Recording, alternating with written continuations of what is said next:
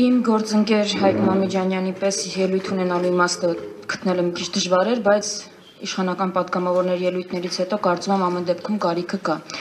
Առաջինը՝ Տիկին Կարապետյան, դուք սխալվում եք։ Ինչ ես չգիտեմ, այս տրիվիալ միտքը ձեզ ոնց չի հասնում, իշխանական падգամավորներին եմ դիմում։ Ինչ արել են 2001-ին, 8-ին, 10-ին, 13-ին, 16-ին, ձեզնից առաջ այդ նախկիններ կոչվածը, դուք ոնց որ մոռանում եք, որ 2016-ին մի հատ պատերազմ եղել է ու ունեցել է ճիշտ 2020-ի հակառակ պատկերը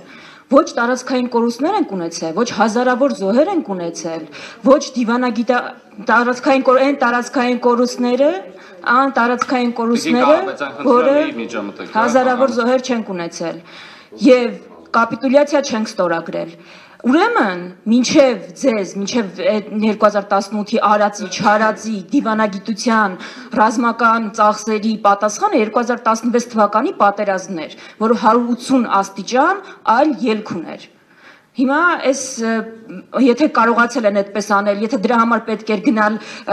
բարձրաստիճան պաշտոնյաների հանդիպել, եթե դրա համար պետք էր դիվանագիտություն վարել, որը վարվել էր ձեզնից առաջ, ուրեմն դա էլ պետք է անել։ Սա մի արձանագրում։ Երկրորդը, եթե որևէ սխալներ էլ եղել են, դուք ոնց որ չեք հասկանում, որ դուք իշխանություն եք մի པարզ պատճառով։ Այդ 2018-ից առաջ եղածի ու չեղածի հետևանքով։ Ես չգիտեմ դուք ինչքան կձգեք այդքան համեմատվելով ինչ ա եղել նախկինում, սխալները մատնանշելով ու ցույց տալով, թե ինչ ա եղել։ Ձեր ժողովուրդը հենց դրա համար է, մենակ դրա համար է բերել իշխանության։ Ձեզնից ոչ ոք արժեք չուներ իշխանության գալու։ Մենակ այդ նախկինի առաջ չարածը մերժելու համար եկել եք իշխանության։ Հերիք է այդ նախկինից խոսակ։ Վերջացրեք, հասկացանք։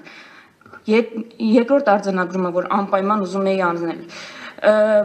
Պարոն Արսենյան, մենք այս վիճակում չենք հայտնվել, որ դաշնակցությունը 2009-ին դեմ արտահայտվել արձանագրություններին, չենք հայտնվել նրա համար, որ կոալիցիա կազմել ենք, չենք կազմել, հայտնվել ենք մի բարձ պատճառով 2020-ի պատերազմի ելքի միակ պատճառը այն էր, որ դուք եք իշխանության ձեր ուժներ իշխանության բանակում չծառայացները բանակի մասին պատկերացում չունեցողները ատելության ուժը իշխանության էր, որը ժողովրդի զգոնությունը բարձրացնելու, ժողովրդին միավորելու, արտաքին վտանգի դեմ պայքարելու փոխարեն պարակտում էր ներսից ու առաջ էր տանում Հիմա այդ որ ասում եք մեր պաշտպանում ենք շահերը, պաշտպանում ենք շահերը, թվում է դուք անընդհատ պիտի դրանից հետո շեշտեք որ երկրի շահերը, որտեվ եթե ձեր պաշտպանած շահերով նայենք, ձեր հայրենիքը հաստատ Հայաստանը դուրս չի գա։